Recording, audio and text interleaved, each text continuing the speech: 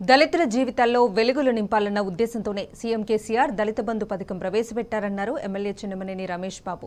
దేశానికే ఈ పథకం ఆదర్శంగా నిలిచిందన్నారు. రాజన్న సిరిసిల్ల జిల్లా సాతరాజుపల్లిలో దళిత బంధు యూనిట్ ద్వారా ఏర్పాటు చేసుకున్న డైరీ ఫామ్ సెంట్రింగ్ షాప్ను ఎమ్మెల్యే ప్రారంభించారు. నియోజకవర్గంలో మొదటి దశలో వంద యూనిట్లను పారదర్శకంగా ఎంపిక చేశామని తెలిపారు. పట్టుదల నైపుణ్యంతో ఈ స్కీమ్ను మరింత ముందుకు తీసుకువెళ్ళాలని కోరారు.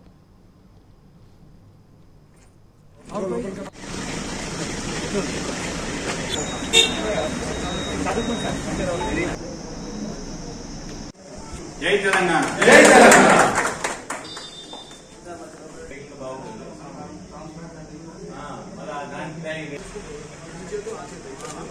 తెలంగాణ. రాష్ట్రంలో గౌరవ ముఖ్యమంత్రి గారి నాయకత్వంలో ఉన్నటువంటి ఎన్నో అభివృద్ధి సంక్షేమ కార్యక్రమాలలో దళిత బంధు నిజంగా కూడా ఒక ఆనిముత్యం లాంటిది.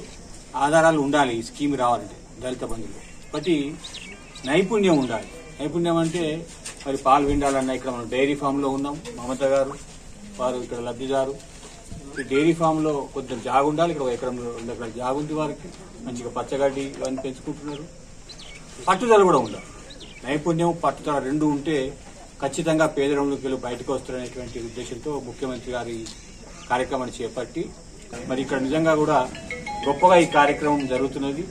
ఇక్కడ ఈ డైరీ ఫామ్ పెట్టుకోవడం కొరకు అన్ని రకాలైనటువంటి ఆర్థిక సాయం పొంది వారు కష్టపడి వచ్చే కాలంలో మరి మరింత ఆదాయం పొంది గొప్పగా మరి ఈ స్కీమ్ ద్వారా లబ్ధి పొందేటువంటి సందర్భం. ఇక్కడ నుంచి గౌరవ ముఖ్యమంత్రి గారు మేమందరం కూడా ఇక్కడ నుండి మా చైర్పర్సన్ గారు ఇక్కడ మా కౌన్సిలర్స్ మా ఈడీ గారు ఇక్కడికి వచ్చినటువంటి శ్రీనివాసరావు గారు దుబాయ్ నుంచి వచ్చారు చూడడానికి. వీళ్ళందరూ కూడా మరి గొప్పగా మెచ్చుకుంటున్న స్కీమ్ కాబట్టి గౌరవ ముఖ్యమంత్రి గారికి ఇక్కడ నుంచి హృదయపూర్వక ధన్యవాదాలు వేసుకుంటారు జై తెలంగాణ!